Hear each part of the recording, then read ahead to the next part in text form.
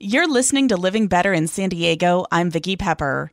Donating to the Salvation Army Red Kettle is a tradition that goes back to 1891, and this year the need has never been greater.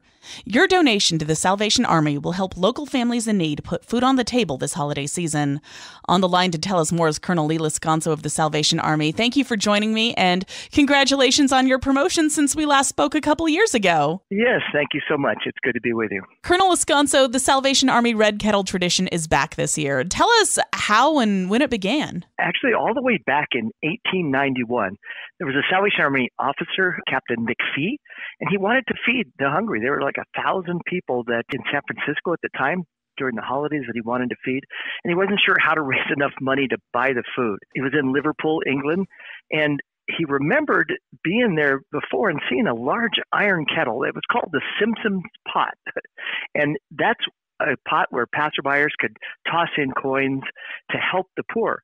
So Captain McFee thought, well, that's a good idea. So he made a, similar pot where he was, and this was actually now when he was in Oakland, near the foot of Market Street, and near the pot he put a little sign that said, you know, keep the pot boiling.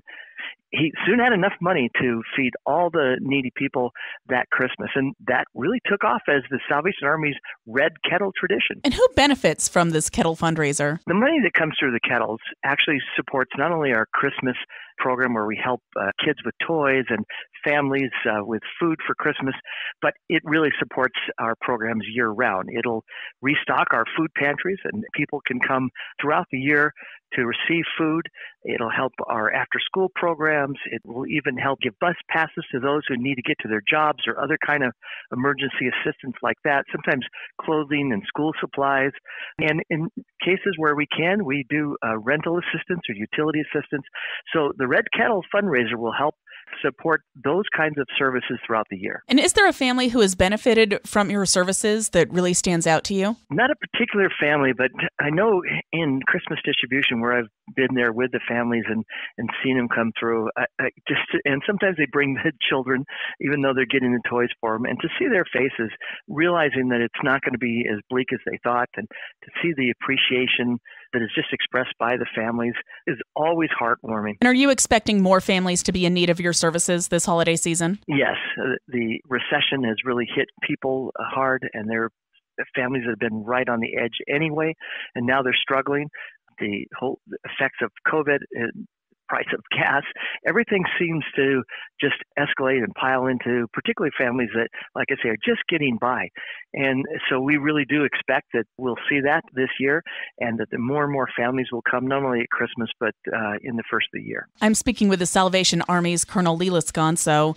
How important is the Salvation Army Red Kettle tradition to your overall fundraising efforts? It's a fairly large portion of the funds are raised for some of our units here in San Diego County, but really it means more than that as well. The the red kettle is sort of a symbol. It's actually been in uh, Christmas movies. You can go back and look at the old Christmas movies, and you'll see the bell ringers there. And uh, since, as I said, in since 1897, uh, the kettle has been part of the American tradition. I think that it's just a good icon to remind people that while we shop for our families and we gather and we celebrate, it's good to remember those who may have less and those who are struggling. And so it gives Americans the opportunity to give back, care for their neighbors who are in need. And is there anything special about this year's campaign that we should know about? Yes, I think the main thing is that the kettle, that iconic red kettle we're talking about, you'll actually see less and less of the physical kettles. COVID certainly started that uh, trend downward, and there's stores who are just being, you know, more careful and not allowing anyone to be out front. And so we're finding it difficult to find places to hold that red kettle. So it's important that, that people find other ways. We're putting things like tip tap and QR codes on the kettles, but also really trying to stress now uh, virtual fundraising through our virtual kettles. And the SD redkettle.org is a way that anyone can actually put on their social media, their Facebook page, a red kettle and help raise funds for the Salvation Army and for those in need this year. And how do we find a physical red kettle? There are stores that are still allowing us to do that. If you uh, have a Hobby Lobby in your area, we should be at the Hobby Lobbies. Some of the Walmarts will be able to be there. Ralph's and Food for Less are another one that we do have agreements with and will be. So hopefully you'll be able to see them somewhere in your community in front of one of those stores. And do you need volunteers to be bell ringers? Uh, yes, all the Salvation Army Corps and community centers use volunteers to stand the kettles, and we'd love to have that. They can just contact any one of their local Salvation Armies, and they should be able to put them to work at a red kettle. I've been speaking with Colonel Lee Lescano of the Salvation Army.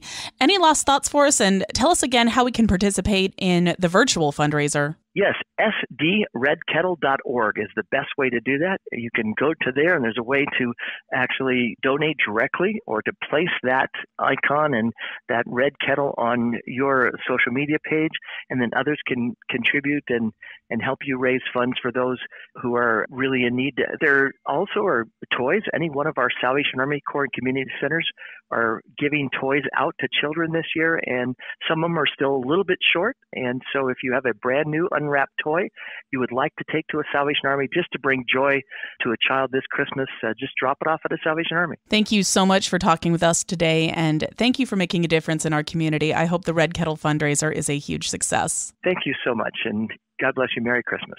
Merry Christmas.